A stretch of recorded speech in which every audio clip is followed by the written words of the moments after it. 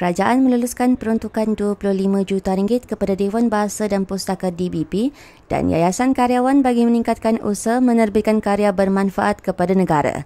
Perdana Menteri Datuk Seri Anwar Ibrahim berkata, sejumlah 20 juta ringgit diberikan kepada DBP seperti diumum menerusi belanjawan 2023 sementara 5 juta ringgit lagi diberi kepada Yayasan Karyawan.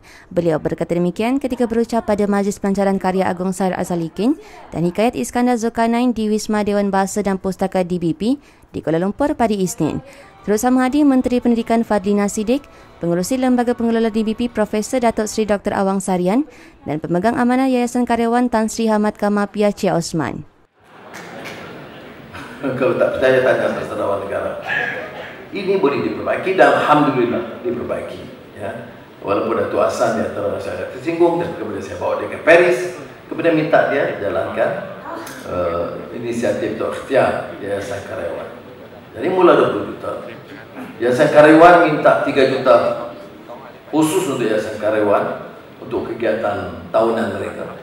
Saya luluskan. Dan saya sedia 2 juta ringgit tambahan untuk popularkan karya-karya sastrawan negara.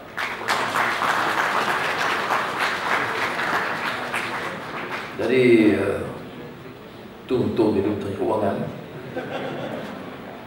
Uh, ini permulaan yang baik saya, saya harap Dewan Bahasa ya, uh, untuk pengarah ya, uh, untuk karya sastra negara saya tidak lihat suatu perkembangan yang boleh dibanggakan dari sudut mempopularkan karya-karya sastrawan negara itu sendiri. Jadi kita ada karya agung yang harus ditelaah, kita harus karya. Jadi untuk tahun ini saya sediakan 2 juta tambahan dan saya minta Dewan Bahasa beri ini keutamaan. Ini sasaran negara ini semua dah uh, yang saya.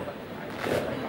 Jadi tolonglah beri pengiktirafan yang sewajarnya dan segera supaya jangan melengahkan.